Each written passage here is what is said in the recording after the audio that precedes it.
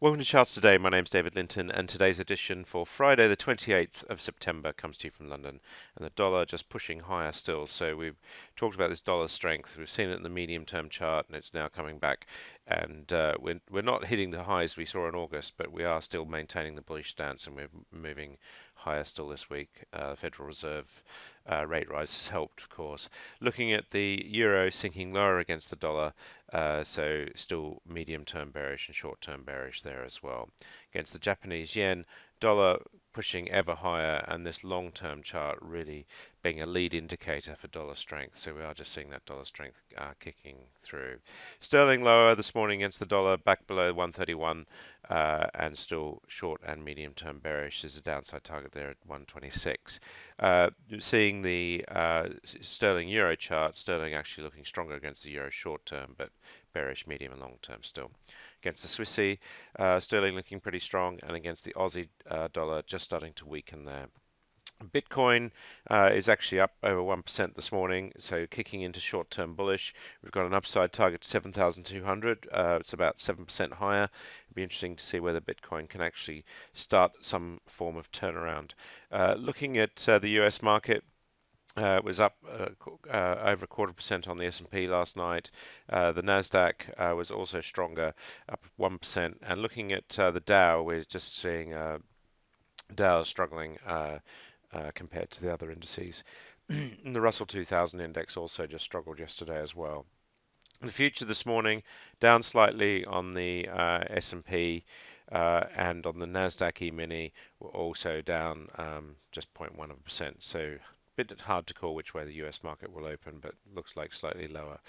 The UK market down slightly this morning. We are seeing um, some some quite big moves in the UK. Just looking at uh, the big the biggest one being um, Royal Sun Alliance down eight percent, taking that uh, stock just to below the cloud. So looking a little bit more bearish there. Downside targets of some nine percent, uh, falling on weaker results this morning. So that's quite interesting as well. Um, looking at the mid caps in the UK, we see here um, that uh, the the the 250 um, is just uh, struggling a little bit as well, and uh, still bearish on the short-term chart. The DAX actually uh, down quite substantially this morning, uh, just struggling really on that medium-term chart. Still holding the bullish position on the short term, but European markets still looking pretty subdued. The CAC 40 also down uh, significantly as well. The Japanese market was up very sharply last night, um, taking us to uh, new new levels. Uh, this is on the 400 index. The Nikkei was actually making new highs. Uh, looking at the Hang Seng, um, we see here where um, uh, uh, up on the uh, day, but not very much, and uh, still medium-term bearish. Shanghai market was actually looking a bit stronger, um, but still medium-term bearish, and of course the long-term chart very bearish. Just really finding support around this level, and if we break this support level, then um, that's very worrying for the the Shanghai market.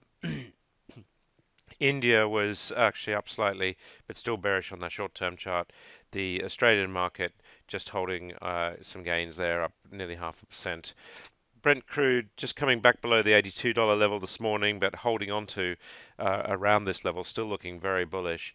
And WTI um, also just pausing for breath after a very strong week. US nat gas back above the $3 level, so $3.04, so pushing higher there. Gold fell quite sharply yesterday, uh, so we are sitting at 1182 this morning, taking us to bearish on all three time frames, and silver much the same position there as well.